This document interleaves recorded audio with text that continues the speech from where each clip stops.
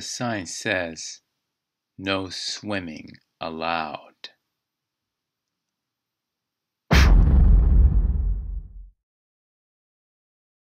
Hey guys, this is Pierre Bones 88. And today, this week is almost, Halloween is almost over. October is actually almost over. And we are so close to uh, Halloween. And today for my next horror movie that I'll be talking about, which is one of the classic Universal monster movies, The Creature of the Black Lagoon. So this was the only classic monster movie that I didn't get to see. For unlike the other classic monsters I've saw were Dracula, the Wolfman, Frankenstein, Phantom of the Opera, and the Invisible Man, and the Mummy. So Creature of Black Lagoon, when I first saw this movie, it was well, it was decent, and just unlike it's sort, it's really a classic movie. But for this classic monster, it didn't have no face expression, but it looked like a, a harmless uh, monster fish.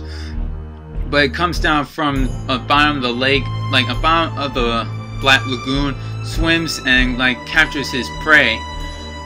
But for this movie, it's really compromising. The storyline isn't too bad to see two couple scientists discovering this black lagoon and seeing this weird looking creature that's coming after them.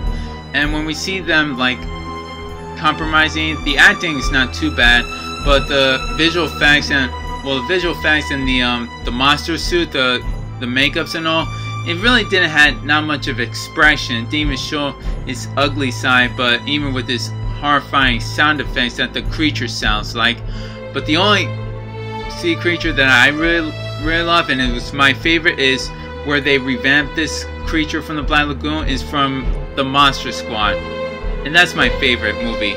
To see all the classic movies, like all the classic monster movies. It's really great to see the classic monsters join together, reunite, almost like a reunion. But for every single monster movies that had their own remakes or their revamps or their untold or retold to their story of their movies and they, they remade them. The Creature of Black Lagoon did have no remake, no reboots, not yet. So maybe sooner they might have a remake of The Creature of Black Lagoon to make him more scarier, make him gruesome and horrifying. That I would love to see. This 1950s classic monster is still a classic and I like it, so it's my favorite. So just to rate um, the Creature of Black Lagoon, I would rate this as a, I would to give it a um, 78 out of 100. For a classic monster movie, it's really good and very decent to watch. Even so, I wish they could make him more scarier, make him really gruesome. But back then, they didn't make him much more that scary. They didn't have the tools and the equipment, so it's a classic. And I do have this movie on DVD only. And this is Peter Mark Bones 88 signing off. His saying is Peace!